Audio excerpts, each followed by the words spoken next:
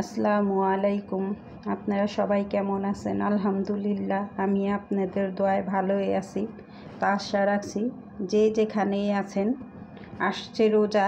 সবাই সুস্থ থাকবেন, ভালো থাকবেন, এই দোয়াই করি। আর মন লাগিয়ে আমরা সবাই আল্লাহর ইবাদত করব, এই দোয়াই করি। যাই হোক, সেদিন আপনাদের সাথে আমি শেয়ার করেছিলাম, এই যে ডালটা আমার ক্যাপসুল কাটারে যে আমি করেছিলাম, সেই ডালের রেসিপিটা আমি কীভাবে ডালে পেঁয়াজু বানানোর এই যে প্রসেসিংটা আমি কীভাবে ফ্রোজেন করি সেটাই আপনাদের সাথে শেয়ার করব। তা আমি দুই ধরনের, এখানে হইল আর এখানে হলো আপনার মটরের ডাল তো এই দুই ধরনের ডাল দিয়ে আমরা পেঁয়াজু বানাবো তাই আমি দুইটার মধ্যে আর কি দুই রকম ফ্লেভার দিয়ে তৈরি করব। তা আমি এখান প্রথমেই মুসুরি ডালেরটা দেখাচ্ছি তা মুসুরি ডালে আমি প্রথমেই আপনাকে এখানে আমি দিয়ে দিব পরিমাণ মতো মরিচের গুঁড়ো।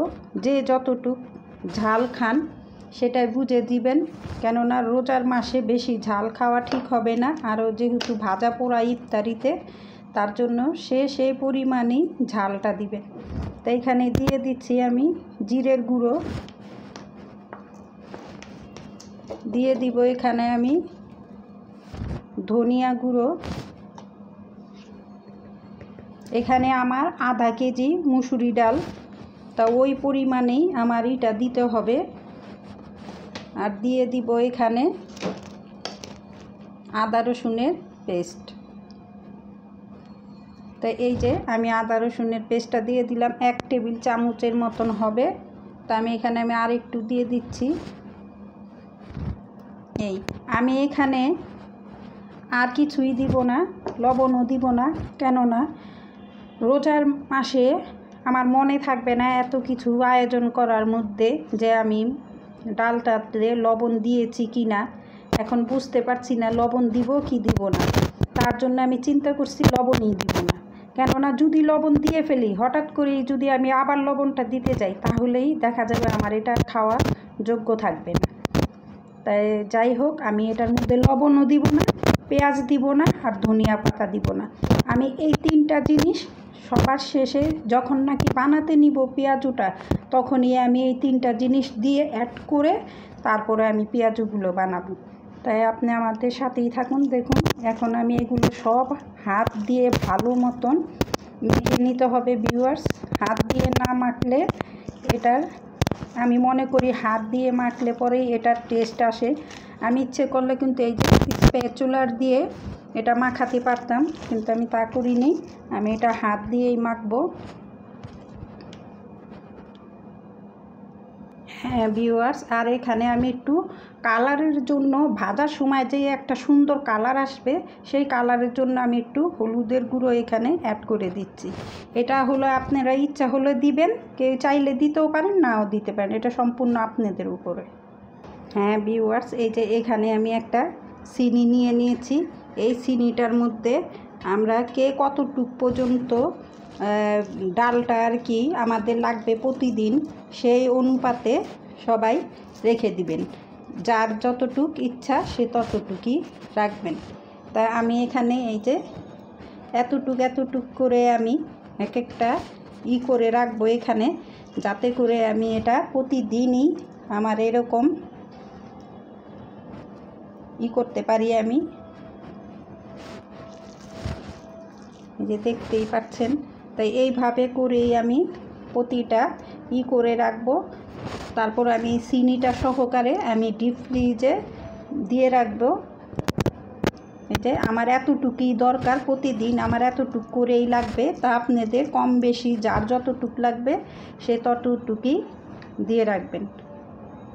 হ্যাঁ ভিউয়ার্স এখন হলো আমি এই যে এই মটরের ডালটা দিয়ে করে দেখাবো।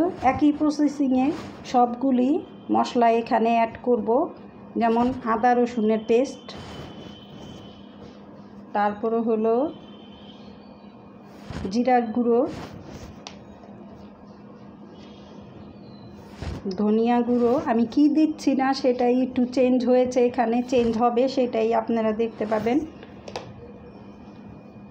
একটু হলুদের গুঁড়ো, এটা সম্পূর্ণ আপনাদের উপরে নির্ভর। আর হলো এখানে আমি দিব না হলো শুকনো মরিচের গুঁড়ো। আমি এখানে দিব হলো এই যে ক্যাপসুল কাটারে যেই আমি কাঁচামরিচটা ব্লেন্ড করেছিলাম, সেই কাঁচামরিচটা আমি এখানে দিয়ে দিচ্ছি। তা আপনারাও আপনাদের পছন্দ মতো ঝালটা দিয়ে দিবেন এই যা। আর এটার সাথে আমি মিক্স করব একটা ম্যাজিক মশলা। তো এই মশলাটা দিলে পরে দু ধরনের দুটা ডালের মধ্যে দুটা পিঁয়াজুতে দু ধরনের টেস্ট আসবে। তা আপনারা দেখেই যখন নাকি খাবেন, তখনই আপনারা বুঝতে পারবেন যে এটা কীরকম। আর আমি পেঁয়াজটা এই কারণেই দিচ্ছি না, এখন পেঁয়াজটা যদি আমি দিতে যাই, তখন হইল এটা ফ্রিজিং করার পরেতে পেঁয়াজটা একটু ই হয়ে যাবে। যখন নাকি আমি পেঁয়াজুটা ভাজবো, পেঁয়াজু মানেই পেঁয়াজ। তখন একটু মচমচে ভাব যদি না আসে, তাহলে কিন্তু আর পেঁয়াজ পেঁয়াজু খাওয়ার কোনো টেস্টই আসে না। তার জন্য আমি সাথে সাথেই আমি যখন নাকি পেঁয়াজুটা ই করব, ভাজবো, তখনই আমি পেঁয়াজ, ধনা, ধনিয়া পাতা আর হলো লবণ একসাথে মিক্স করে তারপর আমি পেঁয়াজুটা ভাজবো, তখন পেঁয়াজুটা মচমচা হবে। এটা হলো আমার কথা। এখন বাকিটা হলো আপনাদের ইচ্ছে। আপনারা কি করবেন? সেটা আপনাদের উপরে। হ্যাঁ ভিউয়ার্স এই যে কথা বলতে বলতে আমার সব মাখানো শেষ হয়ে গেছে। এখন হলো আমি আবার আর কি চিনিটার মধ্যে সব এই যে আন্তাজ মতো আমি আগেই বলেছি, যার যতটুক প্রয়োজন সে ততটুক একটা এরকম বল বল করে এই যে এখানে এভাবে দিবেন যেমন আগেগুলা দিছি, আমি সেম প্রসেসে এইভাবে সবগুলো দিয়ে দিয়ে যাব। তারপরে আমি এটা ডিপ ফ্রিজে রেখে দিব। ফ্রিজিং হলে তারপরে আবার আপনাদের সাথে আমি শেয়ার করব। আর যখন নাকি আমি এগুলা ভাজবো, তখনও আপনাদের সাথে আমি শেয়ার করব। এই তো ভিউয়ার্স এই যে এটা আমি এখন ফ্রিজে রেখে দিব। আমার সবগুলো ডাল ভাগ করা হয়ে গেছে।